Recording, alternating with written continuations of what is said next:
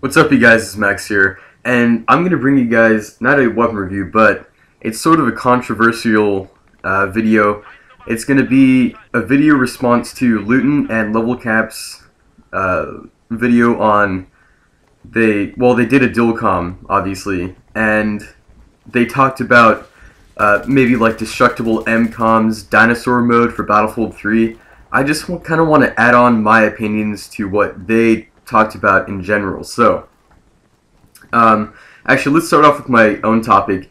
Balanced and unbalanced weapons. I got a comment from a good friend. He's also on YouTube. His link will be in the description about, you know, you know, basically balanced and unbalanced weapons on my USAS 12 review, and it's it's very controversial because if all the guns are balanced, then the game would be kind of boring because there wouldn't be like any, you know, fun, good weapons to use. And there's always going to be special perks about using each weapon. So if you use an M16A3, it's going to be always going to be better at long range than a shotgun. If you use a shotgun, it's always going to be, you know, a slightly bit better at CQB than an assault rifle. So you know, each each weapons have have to have their own stats. Um, it's just finding the correct counterweight in order to bring that bring that weapon down to its own level. So let's say, for example, the AEK 971. Everybody knows that it has a pretty pretty decent stopping power actually with a high rate of fire. I think, you know, for one, if you have a high rate of fire, it should do a little less damage because you can throw more bullets out there. You can hit your enemy within you know a shorter amount of time than let's say like a G3A3 would. But um, let, that that's actually a good topic. Um, the G3A3 it has a slow rate of fire, but that's good because of the high damage that it that it produces. So if let's say you had a G3A3 that fired at 750 rounds a minute and it only fires at like 650 with that kind of damage and that kind of rate of fire, that would be the most OP weapon in the game. Same with the USAS 12 before the uh, first patch.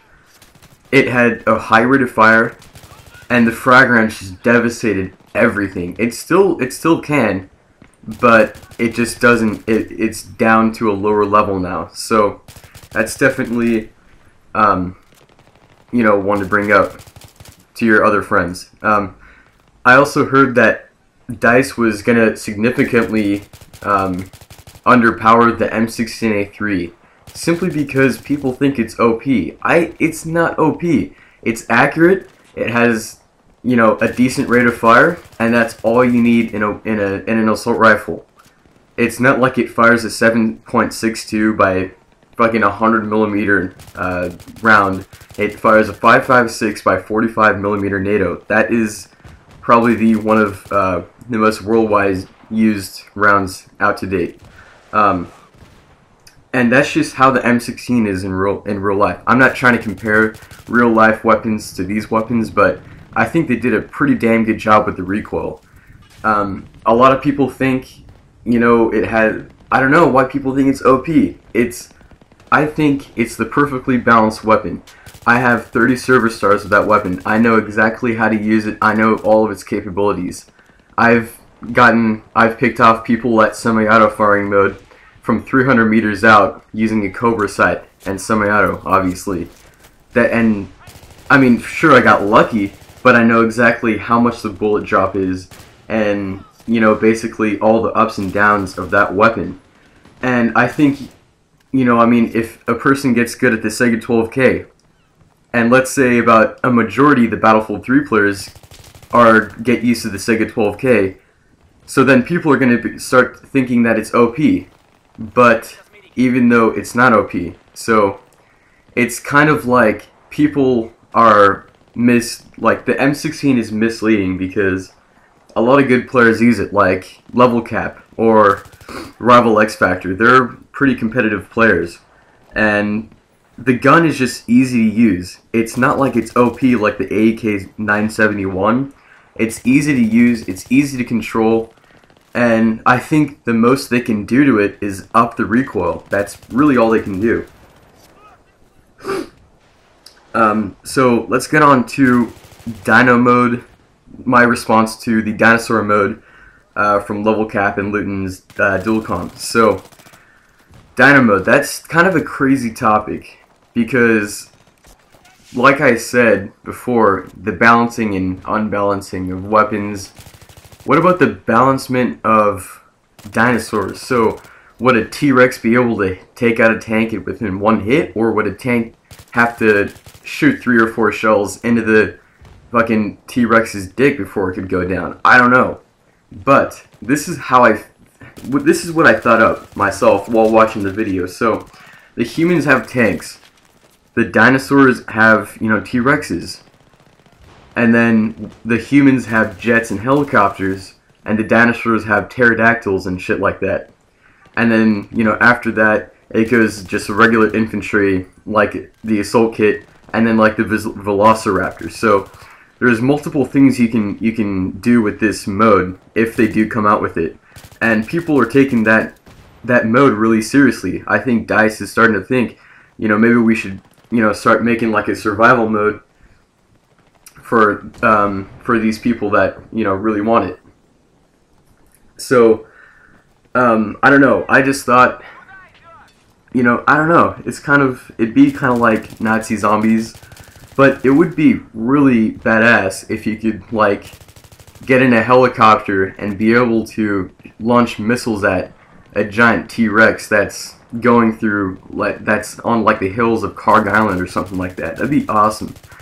Um, it, it is definitely a good possibility. It could be either a separate DLC it could just be a, a different, whole different game mode.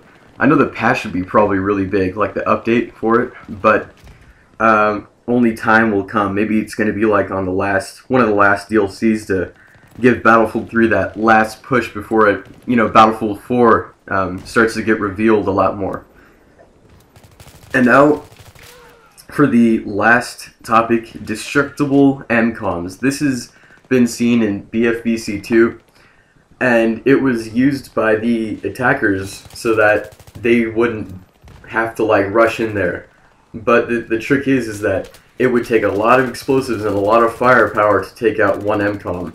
So I don't know. I think that's a pretty pretty good way to make sure that people, um, you know, win the game. I don't know. It's kind of weird because a lot of the maps, it's almost nearly if impossible if you don't have a good team, if you're one of the defenders on Rush. Like for certain maps like Operation Metro, it's almost nearly impossible to defend those uh, second pair of objectives when you're defending. And I think it would that would give that would further give the attackers even more of an advantage over the defenders because they can just you know launch like 10 or 11 smaller RPGs at it and they could take it out, and then they wouldn't have to risk going in there and rushing in there and risking their lives. And that's what a lot of the thing comes from because the defenders are able to get to take the attackers' tickets down when they rush into the objectives. So that would be kind of that would be kind of sketch to have because the defenders would stop having to defend and then the attackers would be more like defending themselves and launching RPGs and C4 at the objectives than actually rushing in and going for the objectives themselves and arming it, like manually. So, those are just my opinions on those three topics. I hope you guys enjoyed. Rate, comment, subscribe. Definitely comment on what you think below. Um, I know a lot of people have potential of commenting, and I've only been getting like six or seven comments per video, so I, I kind of want to see you guys get more active. Um, but other than that, uh, thanks for watching the video. Rate, comment, subscribe, and most importantly, happy killing.